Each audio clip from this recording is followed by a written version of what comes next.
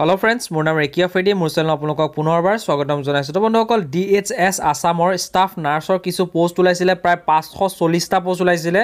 যদিহে সেই পষ্টৰ বাবে আপোনালোকে এপ্লাই কৰি থোৱা আছে তাৰ নটি অফিচিয়েলি নটিফিকেশ্যন আহি গৈছে যে আপোনালোকৰ এডমিট কাৰ্ড কেতিয়াৰ পৰা ডাউনলোড হ'ব বা আপোনালোকৰ এক্সাম ডেট কেতিয়াৰ পৰা আছে অফিচিয়েলি নটিফিকেশ্যন বৰ্তমান আহি গৈছে।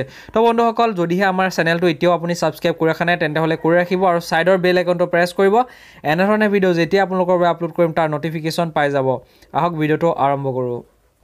তো বন্ধুসকল যিখন অফিচিয়েলি নটিফিকেশ্যন আহিছে এইখন আপোনালোকে চাব পাৰিব। অফিচিয়েলি নটিফিকেশ্যন এইখন আহিছে আহিছে director of health service Assam Hengrabari গুৱাহাটীৰ পৰা এইখন অফিচিয়েল নটিফিকেশ্যন জাৰি হৈছে। চ' ইয়াত যিবোৰ পষ্ট আছিলে পষ্টবোৰ নাম বা ইয়াত আপোনালোকৰ যিটো আছিলে ডি এইচ এছ মানে আপোনালোকে জানে ডাইৰেক্টৰ অফ হেল্থ ছাৰ্ভিচমেন তাত যিটো পষ্ট নাম আছিলে ষ্টাফ নাৰ্ছ ষ্টাফ নাৰ্ছৰ পষ্ট আছিলে ঠিক আছে? Staff nurse critical care post আছিলে।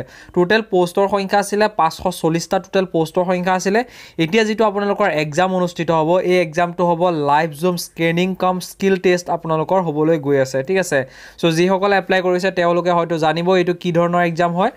চ' তাৰপিছত ইয়াৰ যিটো এক্সামৰ ডেট হৈছে ন নৱেম্বৰৰ পৰা ধৰি তেৰ নৱেম্বৰৰ ভিতৰত আপোনালোকৰ এক্সাম অনুষ্ঠিত হ'ব পুৱা চাৰে দহ বজাৰ পৰা সেই এক্সাম আপোনালোকৰ অনুষ্ঠিত হ'ব ঠিক আছে? চ' মই এই ভিডিঅ'টোত আপোনালোকৰ তলৰ ভিডিঅ'ৰ তলৰ ডেছক্ৰিপশ্যনত আপোনালোকৰ এডমিট কাৰ্ডৰ যি এডভাৰটাইজমেণ্টটো দেখিছে তাৰ লিংক আৰু এডমিট কাৰ্ড ডাউনলোড কৰা লিংকটো মই ভিডিঅ'ৰ তলৰ ডেছক্ৰিপশ্যনত দি দিছোঁ। তাৰ পৰা আপোনালোকে নিজৰ এডমিট কাৰ্ডখন ডাউনলোড কৰি ল'ব পাৰিব। তাৰ বাবে ধন্যবাদ। জয় হিন্দ।